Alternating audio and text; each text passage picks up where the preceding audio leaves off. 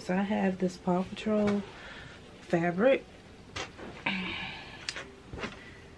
And what I'm going to do is place it on the fold. And because I'm doing a puffer jacket, I am going to make these about an inch thicker than what it's supposed to be normally to give into account of the puffer, if you know what I mean. Sorry for the crying. My nephew, my niece are there. So I'm doing an inch over into from the fold. I could have done it from this side if I wanted to, which I think that's what I'm gonna do. I think I'm gonna do it from that side. I'm gonna do an inch over from here and then an inch down. I'm actually gonna do an inch and a half on the bottom. And how I come up with that is just basically kind of thinking it through. Um, yeah, just thinking it through before doing construction. So you just kind of have to put your math just kind of have to uh, math it out. So what I'm gonna have to do is I'm gonna have to cut two layers, right? Because I have to be able to stuff it. This is why I don't do these just talk through videos because um, the way my thought process goes is kind of all over the place. But anywho,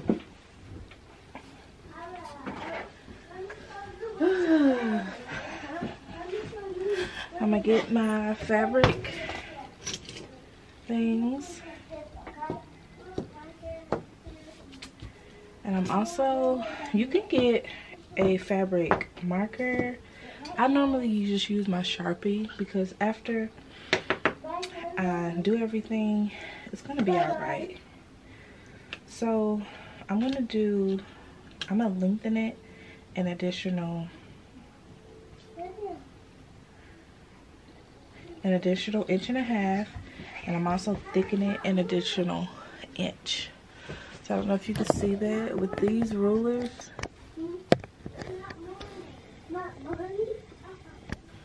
with these rulers it has you can't really see it but with these rulers it has the um the lines that give you that precision. Y'all probably really can't hear me. The kids are being so loud. Okay. So I'm gonna take it and I'm going to draw.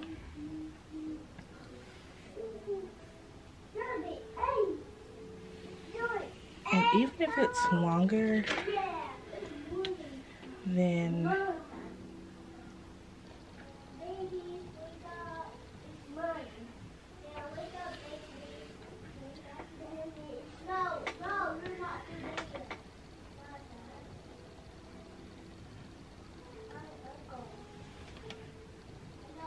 I'm gonna just trace this entire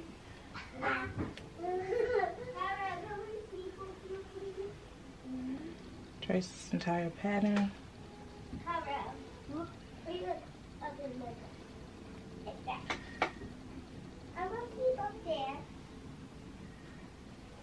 Okay, so this is my back bodice, right?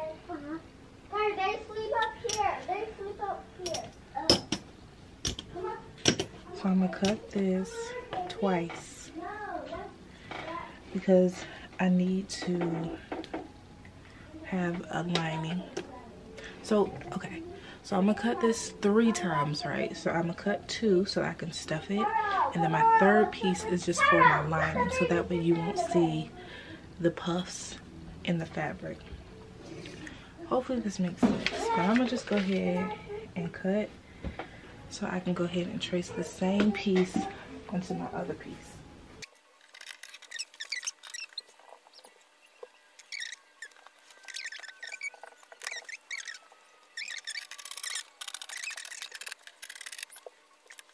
So we're gonna get that front piece. And again, these are gonna be four separate pieces, right?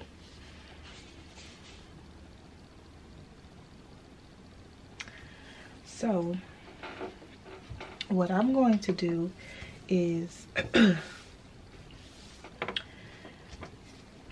I extended my side seam by an inch. So because I'm gonna have two separate pieces, I'm gonna extend this side. I don't know if y'all can see that. I'm gonna extend this side seam by half an inch and then this side seam by half an inch. And then I'm gonna continue to extend this side by my inch and a half.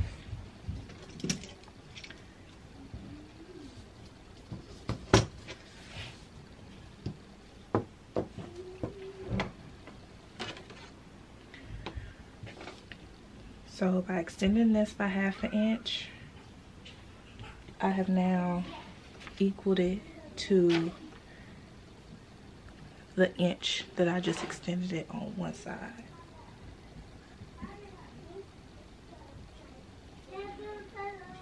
Because I'm extending it from both sides and not just one. Hope that makes sense.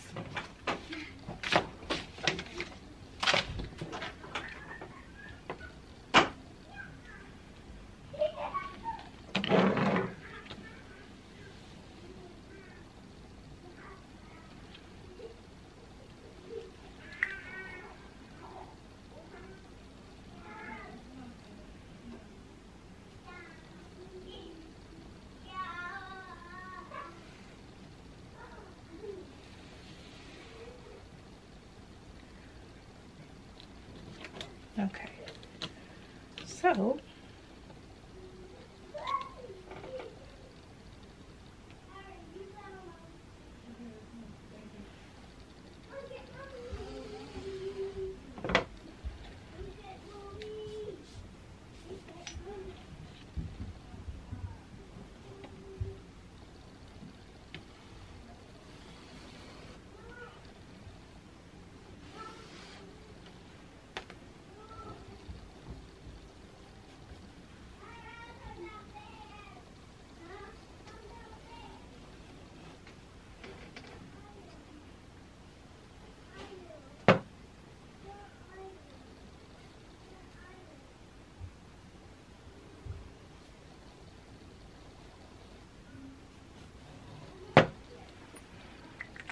Okay, so I said I'm gonna cut four of these.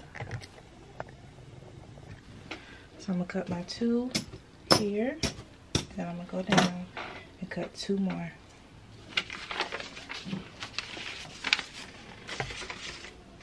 And then when I cut out my lining, I'm only gonna have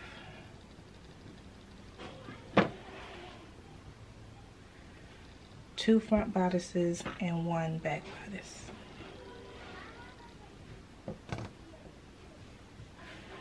Okay.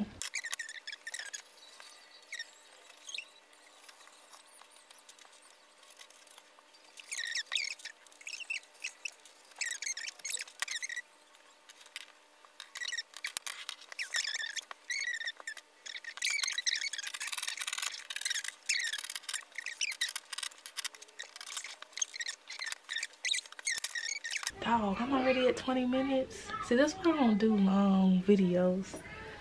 But for my lining i'm i know this is blue but i'm gonna just use regular like black material. Oh!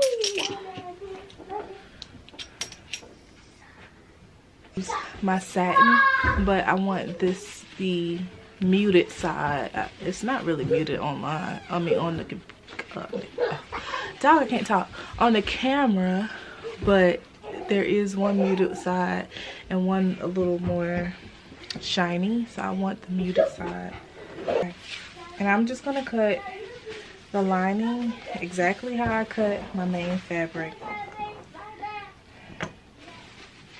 Yes.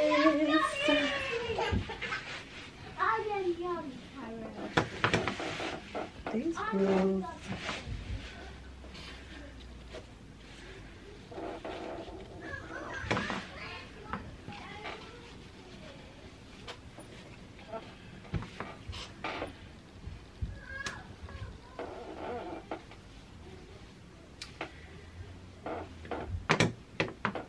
This is not going to be a voiceover. I'm going to sit and y'all really going to watch me. I'm very much nervous, but because I make mistakes as I'm as I'm sewing sometimes. So it's not always going to be perfection the first time around. So I'm always so nervous that I'm not editing it, you know, but this is real life. I don't have, so this is something for a child that is out of state, right? They couldn't measure, well, not necessarily couldn't measure, but it was just a lot trying to get measurements for this child. So she gave me their stock size and um, I went with that. And this is just how it's coming. Y'all please excuse my chair. It's talking to me and I'm not talking back. So it's trying to it's trying to fuss with me. But it's about time for me to get another chair. Well not really because the chair works, it just squeaks it just squeaks. The only thing i don't like about satin is that it runs. And i don't really like a runny fabric. But hey you gotta do what you gotta do what you gotta do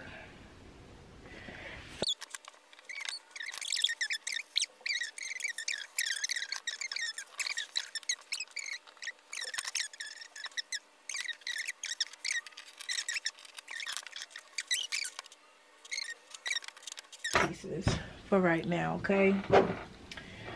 So, I'm going to take the lining pieces and just put them to the side. All right, so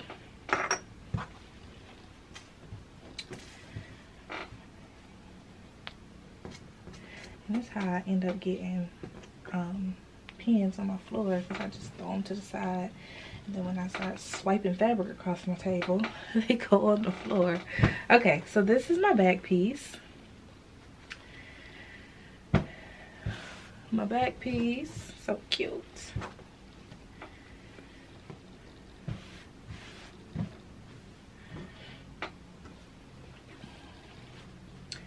And with this, I'm just gonna put I'm gonna just put it like this because you're not gonna see like the inside of this anyway. So I'm gonna just line it up with both pretty sides or both main sides facing my table. And I'm gonna just pin it in place. Right. So they won't move.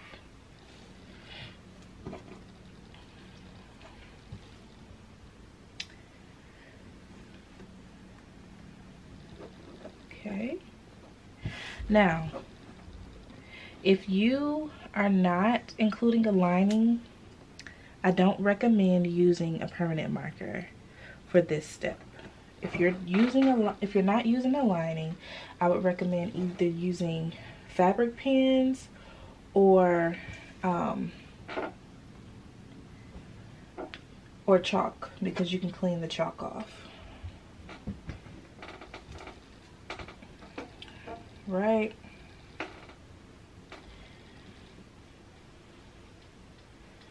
All right.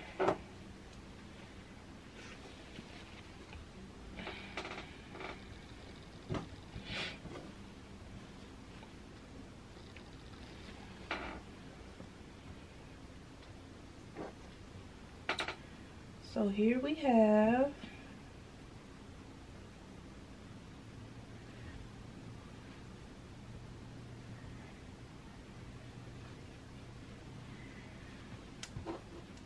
our pieces that we're working with. I'm just using our pins to keep them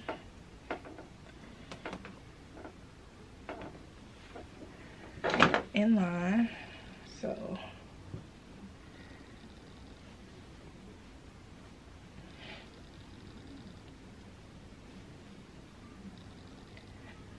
All right, all right, all right.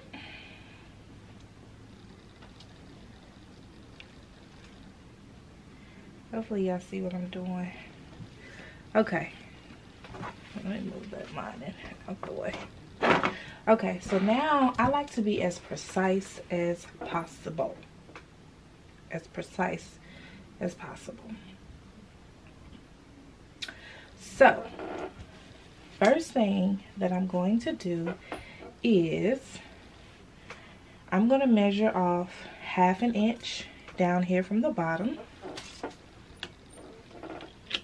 And reason being is because when I attach my lining to this, I don't want for it to get caught up in um, I don't want for it to get caught up in what's it called? The stuffing, the polyfill. Okay. So I'm going to take my marker and I'm going to mark off a half an inch. Okay. An inch. So always bring this together so that you're aware of the precision. Okay? Even though I'm measuring out half an inch, sometimes we may cut our stuff a little wonky. Not knowing it's been cut wonky, but it's very possible. So I like to be as precise as possible. Whether this is a kid's outfit, whether it's my grandma's outfit. I like for it to be as precise as possible. Okay, so this half an inch has been measured, right? So now, from here on out, I'm probably going to do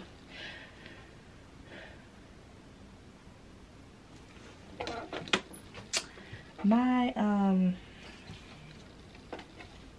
my puffs are probably going to be I would say about three inches apart. No I'm gonna say four for this one. I'm gonna say four. So I'm gonna do four eight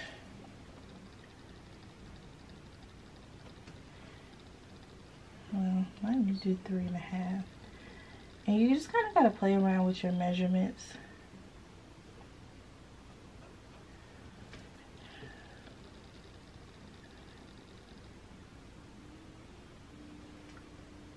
and I'm basically going to draw a line at every three and a half mark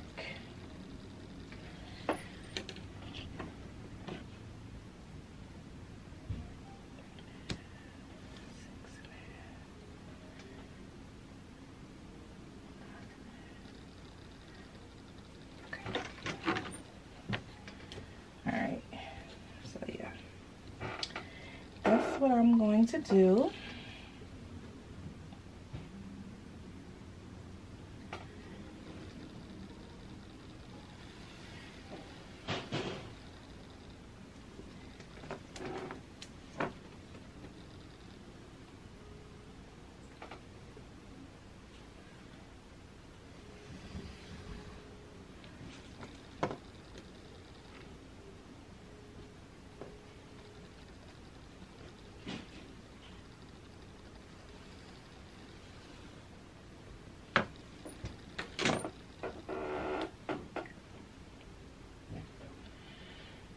Okay, with this one, I actually think that it's going to be a little bit thicker because what I'm going to do is I'm going to stay stitch this about um, a half an inch around the neckline so that way this full puffer will kind of equal the rest of this. So whatever I do to my back, I'm going to do to my side pieces.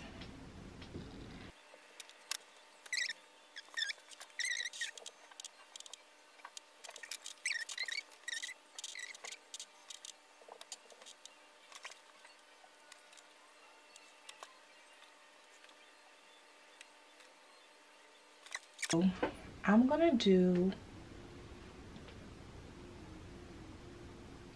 half an inch stay stitches.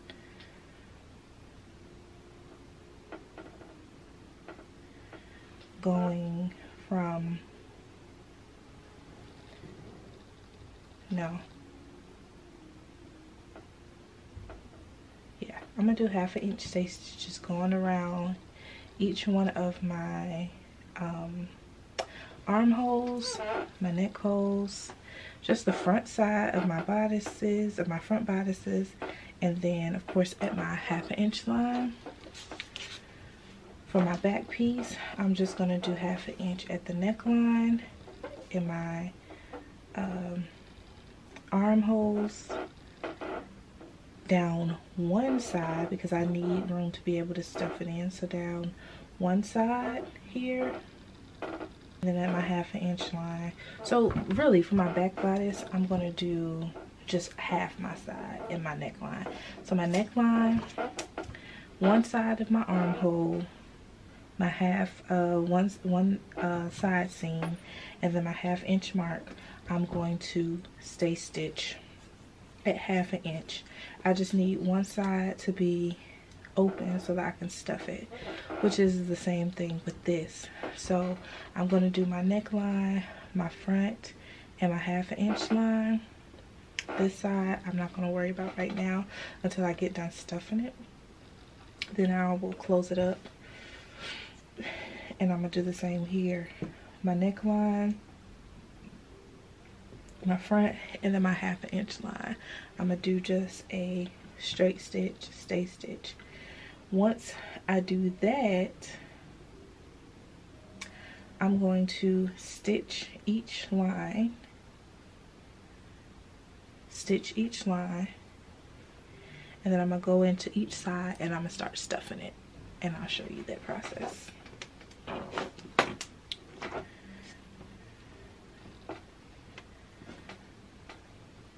I'm gonna take this over to my sewing machine and I'll show you that process. All right, so I kind of have y'all in an awkward spot because I need to be able to sew.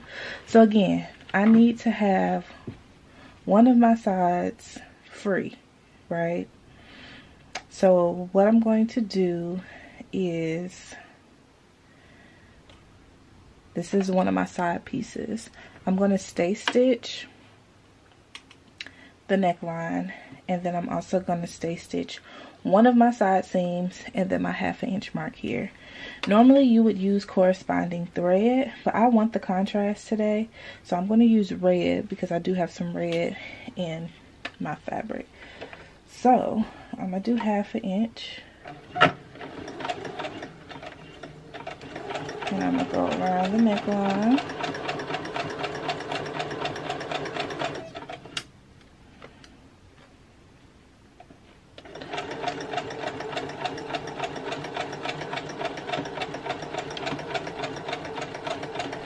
Okay, so remember I told y'all to stay stitch the armhole? I don't want to do that right now because I'm sitting here thinking that I think I'm going to get rid of this very, very top um, line that I made and just make this one thick puffer. And then the rest of these are going to be puffers as well. So uh, when you're sewing, you kind of make adjustments as you go as well. So don't get mad at yourself if you're looking at it and you're like, mm, this ain't looking right. It's okay. As a seamstress, if you're not making adjustments, you're not doing it right. That's my motto. whether you believe me or not. I had somebody tell me, so I posted a video, the DIY prom dress, and I had somebody comment it, and she said, she, he, I don't know what it was, but commented and said, girl, bye, this video wasn't nothing but um, math. And I'm like, sewing is like 80% math, 20% construction because you're constantly making adjustments you're constantly doing things like you're constantly scaling things. So if you're not taking into consideration um, math and numbers when you're when you're constructing, like I know for a fact your stuff is not coming out right. Like you have to think about numbers when when you're sewing. You just have to. There's no way around it. There's no way around it. You can't just go blindly into a sewing project and not think about numbers.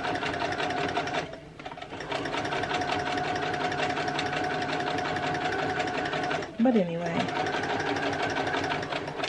that's me. And now I'm stitching each puffer stitch. I don't know if you could really tell, but you can, can you see the red lines? I think it's so cute. So that's why I decided to do the red lines.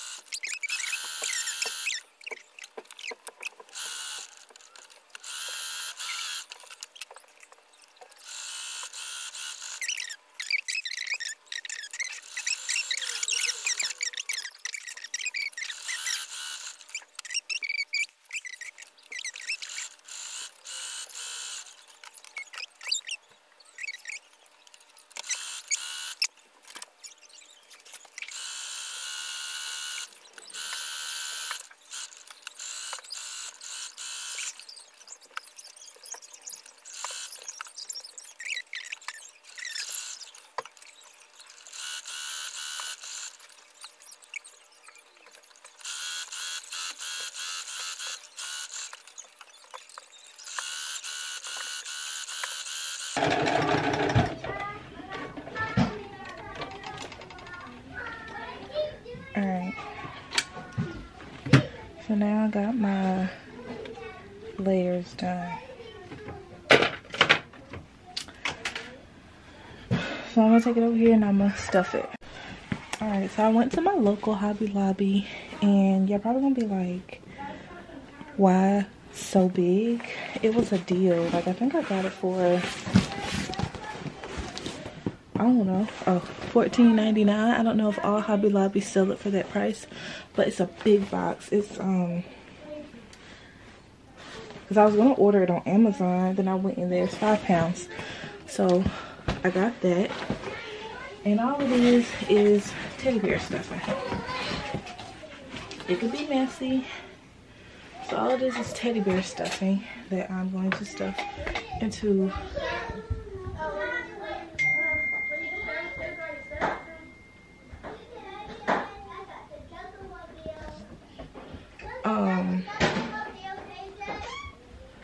50 years old nephew.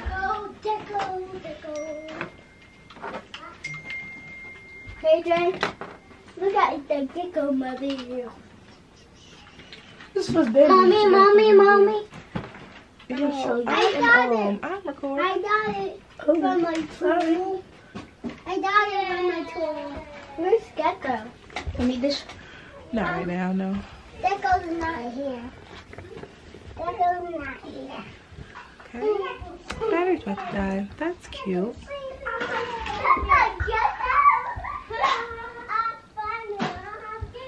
All right well.